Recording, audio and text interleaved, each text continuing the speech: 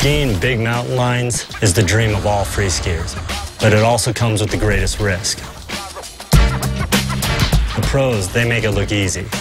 We're going to take a look at some footage to see how they deal with the slough, variable snow conditions, and even avalanches. Let's roll that footage. Skiing big mountains is a serious and thrilling task. It's important to know the terrain and the snowpack. The combination of poor snowpack and a no-fall zone can be detrimental. A truly experienced big mountain skier thinks in reverse, from the worst case scenario to the best.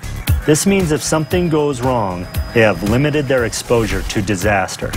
But the greatest rewards come from every steep turn where only you have laid down a signature track. And this is sometimes on a mountain that hasn't been touched. This skier has found the gold, laying down the perfect tracks.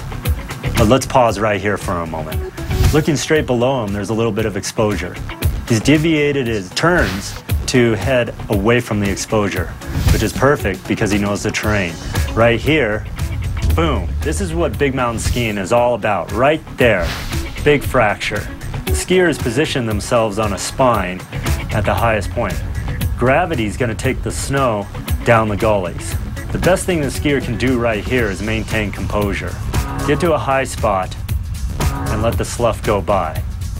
In this case, this skier did everything right. Skiing big mountains is one of the greatest rewards you could ever ask for. Be safe and enjoy the ride of your life.